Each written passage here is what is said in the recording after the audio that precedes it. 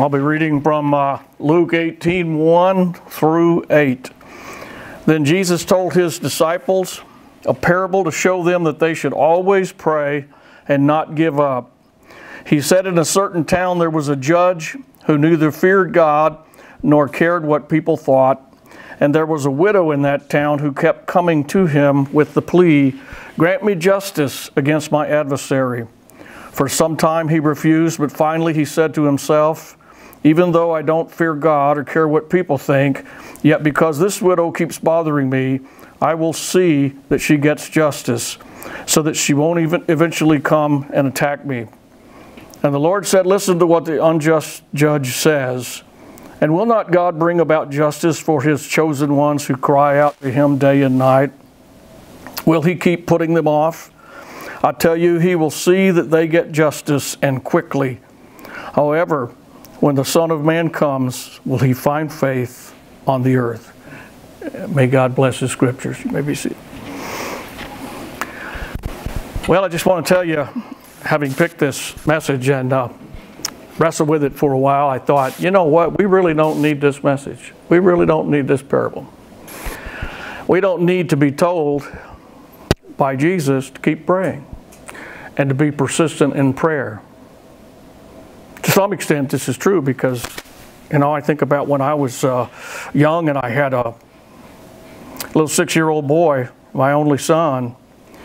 He got began to get lumps on his neck, and uh, you know the typical fear that he's got uh, he's got cancer, and uh, so we made an appointment with the doctor, and uh, a day or so later, uh, the doctor saw him, and uh, during all that time, let me tell you, as a dad of an only son, I was praying like crazy. I mean, I was persistent in prayer. And there wasn't any way on earth that I was going to give up. That's why I say, at least in that extent, you just really don't need this message. but I do want to tell you that the good news is my son was fine. Doctor turned out, uh, said it turns out that he had cat scratch fever. And uh, real small thing, and uh, talk about praising the good Lord that he answered that prayer and uh, and the idea of being persistent in prayer. And so, really, we do need this prayer. We do need uh, this message. We do need to be persistent in prayer. As Luke said, I think it's kind of interesting that Luke actually tells us ahead of time what this prayer, this parable is all about. Uh, he does that a couple of other times as well, but generally we have to wait until Jesus explains it afterwards. And so he begins and tells us uh, Jesus said this parable in order to show us that we should always pray and that we should not give up. And so that becomes uh, kind of a, a front loaded information. We know what the par- uh, parable is going to be about. Um, but um, Billy Graham said heaven is full of answers to prayer that no one will ever, ever, ever bother to ask. And I thought, you know, that's really true. There's probably a lot of times we ought to pray when God would answer those prayers, and the answers are there, but we just don't even bother to pray. But I thought with this parable that another way to put it would be that heaven is full of answers to prayers that people give up on. That after a while we pray for a while and then we just kind of give up, you know. And so uh, there is a reason why we ought to hear this parable, and uh, one of them is that we, we do give up. You know, we think when we begin to pray to God and, and time passes, we think, well, the answer is no. God's made his decision and it's the answer is no. And that's why we don't see an answer because things continue as they are and uh, uh, so we just we just give up. And or we just stop and we think we're justified in doing that.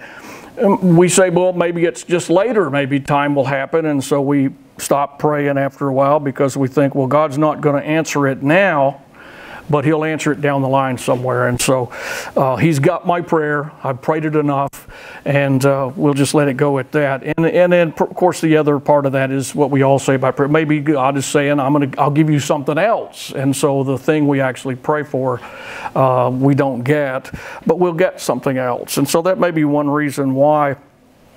uh, King James Version uses, instead of not give up, it says not faint. I like that, you know. I mean, because now they turn, he turns and talks about a widow and you just think of her in her frail state and just getting so tired that she finally just kind of faints out of it. You know, it's just something that that wears her down. But she doesn't give up, so it can't be always that that we just faint. Uh, but we do sometimes grow weary if you've prayed for something and you prayed for a long time and you don't get an answer. You sometimes just give up because, well, you know, I'm just kind of tired of praying that prayer. You know, maybe you don't ever say that, but uh, you sometimes feel like you're banging your head against the wall when you pray to God and you don't get any answers.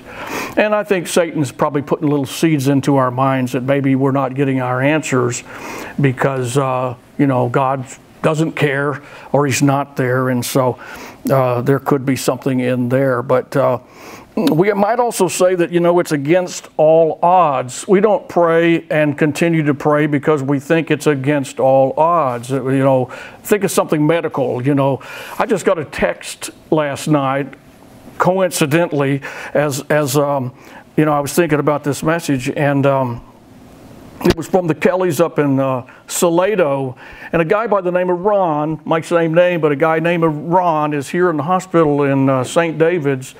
He had a stroke in his brain stem, and the doctors, uh, of course, now have examined him, done an MRI, a couple of MRIs, and determined that uh, they, they, really can't do much, that he's uh, probably never going to recover from this. And so they put the word out to pray and stuff like that.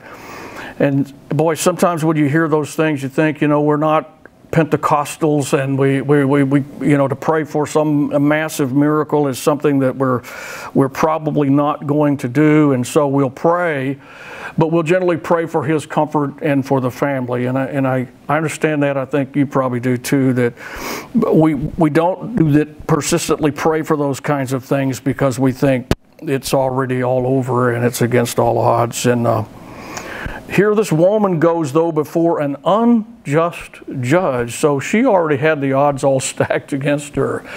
And uh, nevertheless, she kept going because she had something she needed help for. And as a widow, uh, she probably wasn't even supposed to be in court.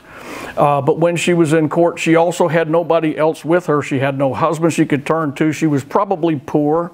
And so she was really helpless and she was going to a, an unjust judge. So talk about doubly helpless. I mean, she's completely helpless. And this judge finally gave in. And so uh, we do give up sometimes, but we have a story here that uh, uh, Jesus wants to understand. He says, Listen, and uh, this is in verse 6 listen to what the unjust judge says. And so you go back up into the text and you find out that the judge said, and this is the one thing that you can pull out of it that is the right thing to pull out of it. He said, I will see that she gets justice. Because Jesus turns and begins to respond and says, Will not God bring about justice for his chosen ones who cry, cry, uh, cry out to him day and night? Will he keep putting them off? I tell you, he will see that they get justice and quickly. It's all about getting them justice. And if an unjust judge will give justice when we're persistent, then a just God will surely give us justice.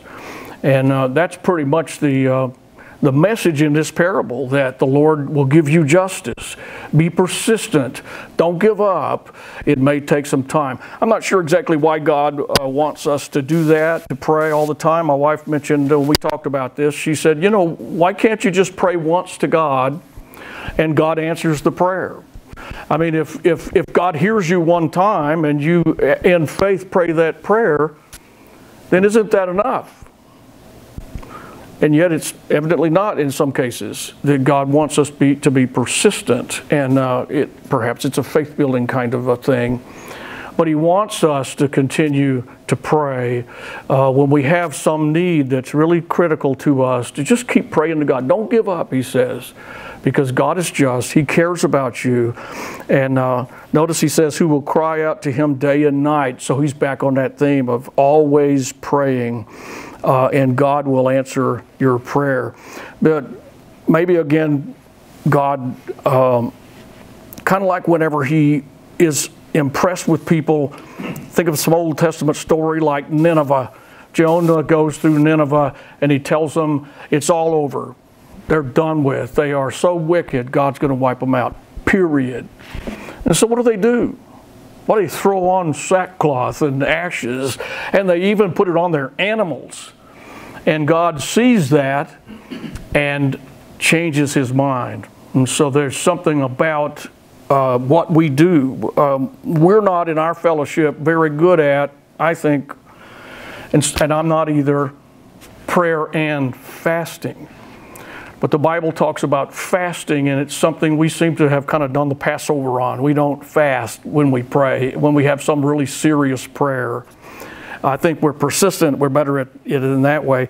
But persistent prayer is to me like prayer and fasting, it gets God's attention and, uh, and God wants us to do it for some reason. Uh, Jesus closes all of this with something that's kind of intriguing uh, to me when I read it, I, and uh, I don't know exactly how to handle it, so we'll just kind of turn it back to you to wrestle with it as well. I got an idea, but he says at the end, however, when, when the Son of Man comes, will he find faith on earth? And I thought, did he just take, take a right turn onto a, to a new topic? You know, he's been talking about persistent prayer and not giving up. And then he begins to talk about will God find faith when the Son of Man comes? Which is a good question all by itself, you know. But I think it has to do with this persistent prayer that when we finally give up in prayer, maybe we're giving up on God in some way. And so our faith is perhaps on a little bit on the weak side. Uh, God cares about us and will answer our prayers if we're persistent in our prayers and we don't give up. And that is an act of faith for us to keep praying. And so uh, Jesus is actually teaching about faith in prayer and faith in God. And prayer is one of those, prayer is one of those ways to show it. Uh, it takes real faith to always pray and not give up. Thank you.